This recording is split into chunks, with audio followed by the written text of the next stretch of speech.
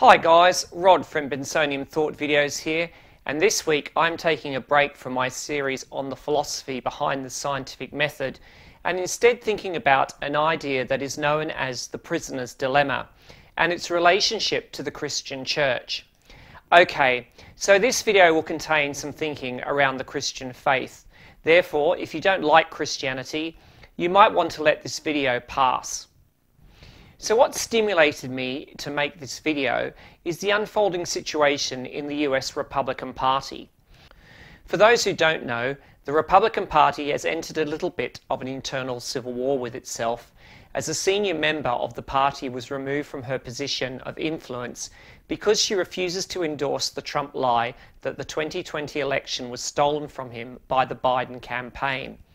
However, reading different reports and watching different news segments coming out of the States, it appears that there are plenty of Republicans who secretly want their party back from Trump and his power minions, but they are simply too afraid to express this view publicly for fear of the political repercussions, being removed from important positions in the future, or being replaced by a pro Trump candidate in what the US call a primary, where candidates jostle to go forward as the candidate who will stand for election.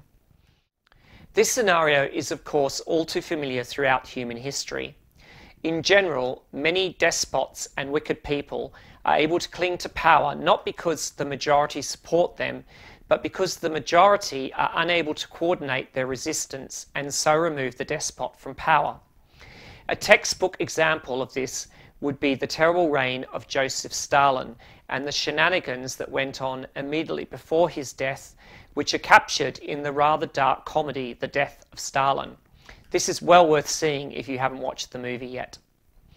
More formally, the inability of a majority to act in their best interest to remove a dangerous despot is also captured in a form of mathematics which was first pioneered by the mathematician John Nash, who developed the maths of game theory along with other major mathematical contributions. Sadly, Nash suffered from some form of paranoid schizophrenia, which led him to have delusions about a communist conspiracy. His life is also captured in the movie A Beautiful Mind, which is also well worth watching if you have not already done so. Anyway, as part of Nash's work on game theory, he developed a thought experiment called the prisoner's dilemma that goes as follows. Two prisoners are arrested for the crime of shoplifting and imprisoned. Each is kept in solitary confinement, so neither can ever speak to the other. One of the prisoners has also been involved in armed robbery, but the prosecution do not have enough evidence to convict either prisoner of this more serious crime, nor do they know for sure who was the one involved in the armed robbery. Therefore, the prosecutors offer both men the opportunity to testify against the other man, so that one of them can be convicted of armed robbery. The crime of shoplifting is a one year prison sentence, while the crime for armed robbery is five years in prison.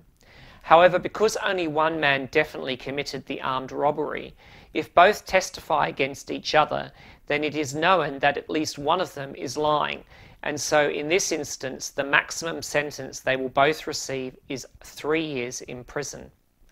Each prisoner now has two options, either to remain silent or to dob their fellow prisoner in for the crime of armed robbery. Now, if they both remain silent, then they both will only get one year in prison for shoplifting. If one prisoner testifies against the other prisoner, then he will be set free for cooperating, while the prisoner who remains silent will go to prison for five years for armed robbery. Finally, if both prisoners testify against each other, then both will get a three year prison sentence.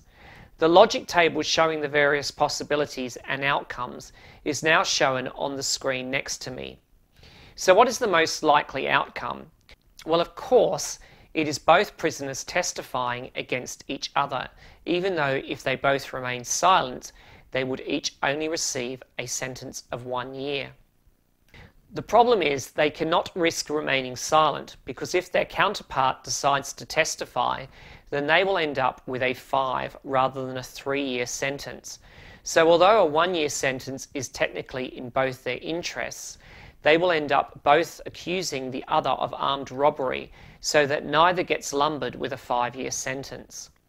It is this dilemma that also captures nicely why evil regimes are so hard to remove from power, even if a majority of people want them gone. The problem is simply that those who have the power to remove a wicked regime must be able to trust that their companions will all act to do so. If only a small number decide to continue to support the regime for their own self preservation or even their betterment, then the ones who stick their necks out to remove the tyrant will almost certainly face dire consequences, most likely death.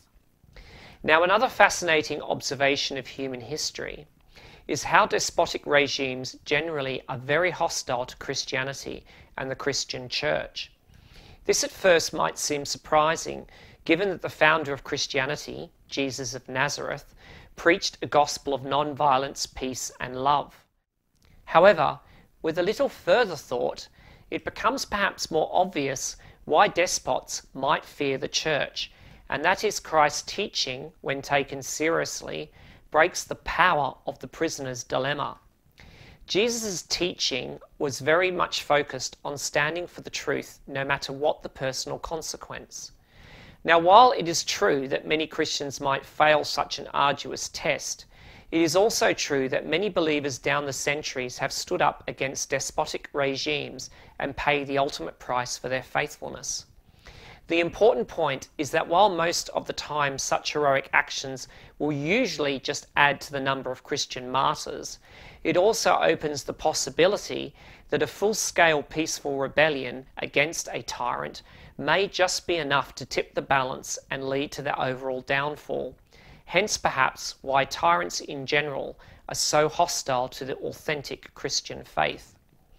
As I have thought about these things, it also reminded me of a conversation I had when I was in my early 20s with another youth leader about the idea of always testifying for God, even if it cost you your life. At that time, I was an idealistic young man who saw no problem with bravely standing up for what is true and right. But my older companion challenged me on this, arguing that surely sometimes self preservation is completely valid, especially if the person who is threatening to take your life is simply a madman. At the time, I could not develop a good argument against his rather pragmatic stance. However, I do feel that the possible breaking of the prisoner's dilemma may be at least one such argument, even if it can only be applied in particular circumstances. Admittedly, one can still debate the issue if it is just some random nutter who comes up to you on the street pointing a gun saying, Deny Christ or I'll kill you, rather than the encompassing power of an evil regime.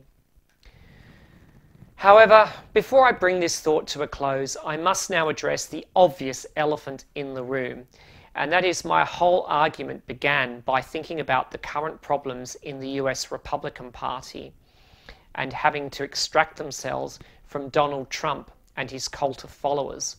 I have argued that the reason Trump still holds the Republican Party in his grip is because many Republicans are too afraid to stick their necks out and reject Trump's influence for fear of the negative consequences that will befall them if they do. Yet, of course, many of these individuals who are behaving like this call themselves born again evangelical Christians. Therefore, isn't it really Christianity that is causing the problem here? Well, my response to this is to argue that the fact these individuals are unable to extricate themselves at all from the prisoner's dilemma is just one more piece of evidence that the type of Christianity that gave rise to Trump in the first place is not the authentic article. Now, in saying this, I am not suggesting that every person who self identifies as a Christian and supports Trump's toxic brand of politics is not a Christian. What I am saying is the theology that underpins this type of Christianity is deeply flawed, in a similar way to the faulty expressions of Christianity in the early church, which drew such harsh admonishment from the Apostle Paul, as he once wrote, You foolish Galatians, who has bewitched you? When the Apostle was battling against the Judaizers and the Gnostics, he did not see everyone who had fallen into these bad sects as fully culpable, but rather blamed the ringleaders while pleading with their followers to see sense. It is rather instructive to note that at least one of these major early Christian heresies was based on the early church failing to re-evaluate the Old Testament law in the light of what Jesus had achieved by dying on the cross for the sins of humanity. In many ways, I think the type of toxic US evangelicalism, which is leading to such sub-Christian behaviour, shares the same root problem as experienced by the first century church of not fully moving away from an Old Testament understanding of how God is working in the world. Many Trump supporting evangelicals embrace the Old Testament idea that while Trump may be far from Christian, he is being used by God to protect them from any unpleasant suffering that might arise as they deal with either hard left liberal ideology or sometimes new atheism, which often intrinsically is more hostile to the Christian faith. Protagonists of this idea see Trump as another King Cyrus, who was used by God to return the Jewish exiles from Babylon around 539 BC. Yet the desire of Christians to use earthly political power to establish their own desires is an anathema to the teachings of Christ, who supremely demonstrated to his followers that the kingdom of God will be established through the love of one's enemies and faithfulness of his followers, even in the midst of persecution by those who hate the church and want to silence what it stands for.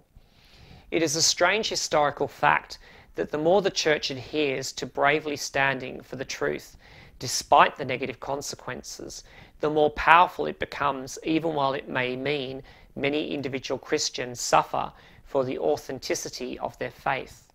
As the saying goes, the blood of the martyrs is the seed of the church. Okay, so that is my thought video for this week.